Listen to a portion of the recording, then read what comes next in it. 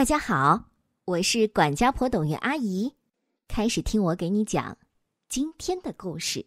今天我给大家带来的这个故事，是由启发绘本和皮卡书屋共同推荐的《宝儿》。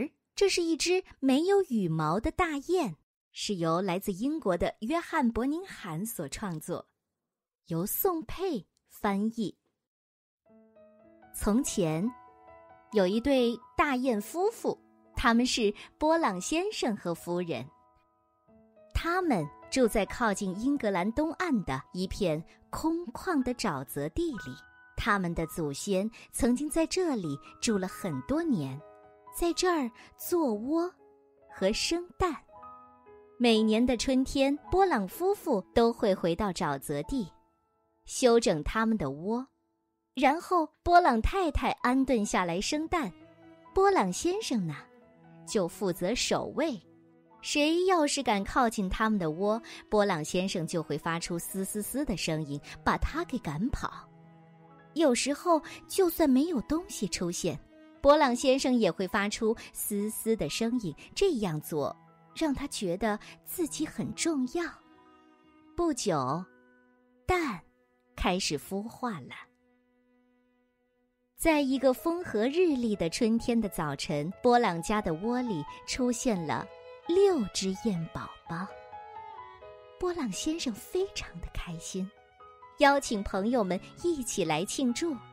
燕宝宝们的名字都取好了，他们叫做弗雷达、阿奇、奥斯沃、珍妮弗、迪莫西，还有宝儿。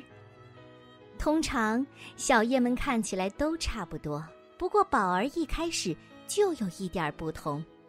虽然它和兄弟姐妹一样有嘴有翅膀，但是它没有羽毛。波朗夫妇非常的担心，他们请来大雁医生为宝儿做了详细的检查。医生说，除了没有羽毛外，宝儿一切正常。这种情况。可真不寻常。医生想了很久，才对波朗太太说：“有一个办法可以补救，那就是为宝儿织一些羽毛。”于是波朗太太拿出棒针，开始编织了。当然，她织不出真正的羽毛，不过她织出了一件很贴身的灰色羊毛背心，看上去感觉和羽毛很相像。织好之后，他立刻叫宝儿来试穿。宝儿穿上背心，心里高兴极了，他忍不住拍着翅膀跑来跑去。有了毛背心，宝儿晚上就不会觉得冷了。宝儿跑到其他的小雁面前，让他们瞧瞧自己的毛背心。没想到大家全都嘲笑他，他难过极了，独自躲进高高的草丛里哭了起来。这正是小雁们开始学习飞翔和游泳的时候。可是宝儿不愿意和他们一起，因为其他的小雁总是嘲笑他，这样，宝儿的学习就落后了很多。没有谁注意到这些，波朗夫妇又实在太忙了。宝儿也试过自己练习游泳，但只要下过水，毛背心就要等好久才能干呢。于是宝儿很快就放弃了。夏天快要过去了，天气越来越凉，大雁们开始坐立不安。每年到了这个时候，它们都要飞到温暖的地方去，那里更容易找到吃的东西。波朗一家也开始为出发做准备了，他们在窝上盖了小树枝和灯芯草，这样冬天的时候，他们的窝就不会被暴风雨给打坏。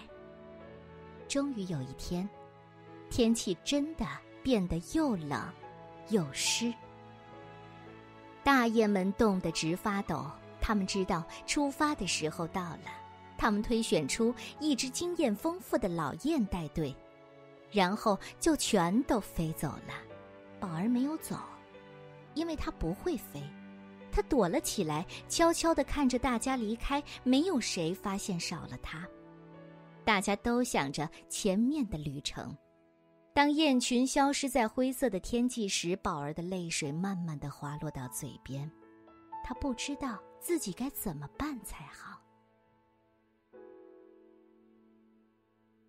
天空中飘着蒙蒙的细雨，宝儿走啊走，想找到一处干燥的地方过夜。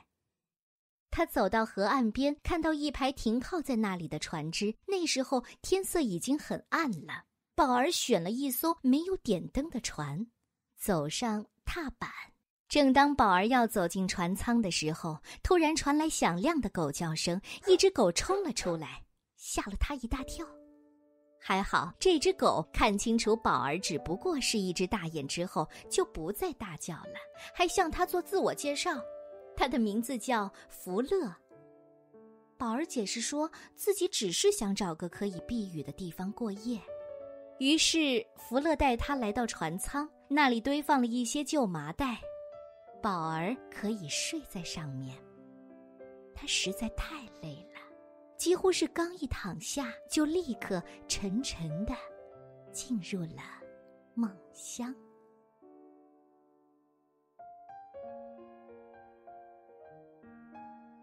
这艘船叫哥伦比号，船长是麦卡利斯特。半夜里，他和大副弗雷德回来了。他们决定等天一亮就开船。福勒把宝儿还睡在船舱里这事儿忘得一干二净，直到船开出很远了，福勒才想起来，他告诉了船长这件事。麦卡利斯特船长说了：“好，很好，一只大雁在船上。如果他要跟我们去伦敦，就得干活儿挣旅费。”宝儿很快就跟船长和弗雷德成了好朋友，当然还有福乐。他用长长的嘴把绳子都卷好，也把地板上的面包屑捡干净，尽一切努力帮忙干活。这些工作为他换来了好吃又丰盛的食物。终于，哥伦比号开进了泰晤士河，伦敦就要到了。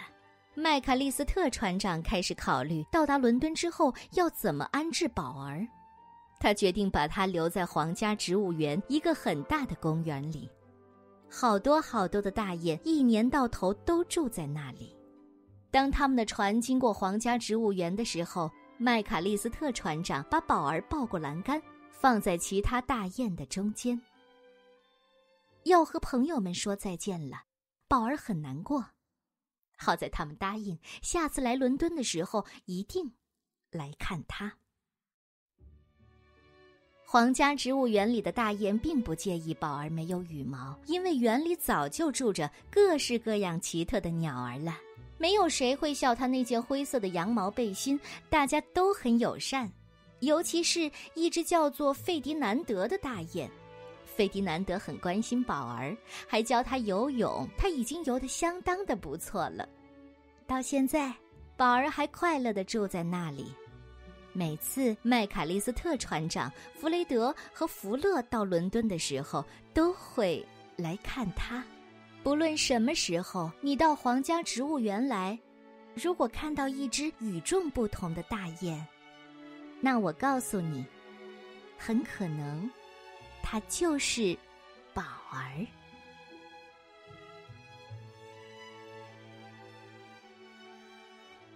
你喜欢这个故事吗？一个让人舒心的故事，推荐给你。一只没有羽毛的大雁，宝宝加油！明天见。想听更多董玉阿姨讲的故事，请下载“宝宝加油 ”APP。或者关注“宝宝加油”的微信公众号。